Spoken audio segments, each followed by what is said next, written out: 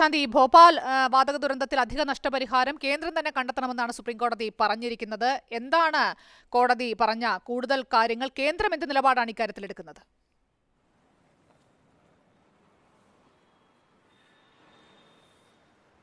ശാലിനി ഇക്കാര്യത്തിലുള്ള ഒരു ഹർജി ഇപ്പോൾ സുപ്രീം കോടതിയിലെ ഭരണഘടനാ ബെഞ്ച് കേട്ടുകൊണ്ടിരിക്കുകയാണ്. കേന്ദ്രം നേരത്തെ ഒരു തിരുത്തൽ ഹർജിയാണ് ഈ വിഷയത്തിൽ നൽകിയത്. നേരത്തെ സുപ്രീം കോടതി ഈ വിഷയത്തിലുള്ള വാദങ്ങൾ കേട്ട് ഇക്കാര്യത്തിലുള്ള വാദങ്ങൾ അവസാനിപ്പിക്കുകയും കേസ് തീർപ്പാക്കുകയും ചെയ്തിരുന്നു.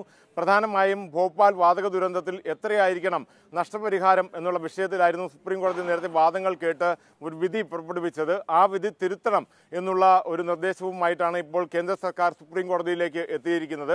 എന്തായാലും കേന്ദ്ര സർക്കാർ നൽകിയിരിക്കുന്ന ഈ ഒരു ഹർജിയിൽ ചൂണ്ടിക്കാട്ടുന്നത് ഭോപ്പാൽ വാതക ദുരന്തത്തിന് ഇരയായവർക്ക് കൂടുതൽ നഷ്ടപരിഹാരം നൽകേണ്ടതുണ്ട്. കമ്പനി നേരത്തെ പറഞ്ഞ നഷ്ടപരിഹാരം പോരാ. കൂടുതൽ നഷ്ടപരിഹാരം നൽകാനുള്ള ഇടപെടൽ കോടതിയുടെ ഭാഗത്ത് നിന്ന് ഉണ്ടാകണം എന്നതാണ്. ഏതാണ്ട് എഴുന്നൂറ്റി പതിനഞ്ച് കോടി രൂപയുടെ നഷ്ടപരിഹാരം സംബന്ധിച്ചുള്ള ഒത്തുതീർപ്പ് കേന്ദ്രത്തിനും യൂണിയൻ കാർബൈഡ് കമ്പനിക്കും ഇടയിൽ നേരത്തെ ഉണ്ടാക്കിയിരുന്നു. നമുക്കറിയാം അയ്യായിരത്തി ഇരുന്നൂറ്റി തൊണ്ണൂറ്റി അഞ്ച് പേരാണ് ഈ ദുരന്തത്തിൽ മരിച്ചത്. അതുകൊണ്ട് തന്നെ ദുരന്തത്തിൽ മരിച്ചവരുടെ ബന്ധുക്കൾക്കും ഇരയായവർക്കും കൂടുതൽ നഷ്ടപരിഹാരം കിട്ടാനുള്ള അർഹതയുണ്ട് എന്ന് കേന്ദ്രം വാദിക്കുന്നുണ്ട്. പക്ഷേ കോടതി ഇന്നലെ ചൂണ്ടിക്കാട്ടിയത് കേന്ദ്രത്തിനും യൂണിയൻ കാർബൈഡിനും ഇടയിൽ ഇക്കാര്യത്തിലുള്ള ഒരു ഒത്തുതീർപ്പ് നേരത്തെ ഉണ്ടാക്കിയതാണ്. ആ ഒത്തുതീർപ്പ് പ്രകാരമാണ് എഴുന്നൂറ്റി പതിനഞ്ച് കോടി രൂപ നൽകാനുള്ള തീരുമാനമെടുത്തത്. ആ ഒരു തീരുമാനം എടുത്തതിന് ശേഷം ഇപ്പോൾ വീണ്ടും കേന്ദ്രം കൂടുതൽ പണം കമ്പനി നൽകണം എന്ന് എങ്ങനെയാണ് ആവശ്യപ്പെടുന്നത്? നേരത്തെ ഒത്തുതീർപ്പിലേക്ക് എത്തിയപ്പോൾ കേന്ദ്രം ഇക്കാര്യം എന്തുകൊണ്ട് ആലോചിച്ചില്ല എന്നുള്ള ചോദ്യമാണ് കോടതി ഉന്നയിക്കുന്നത്.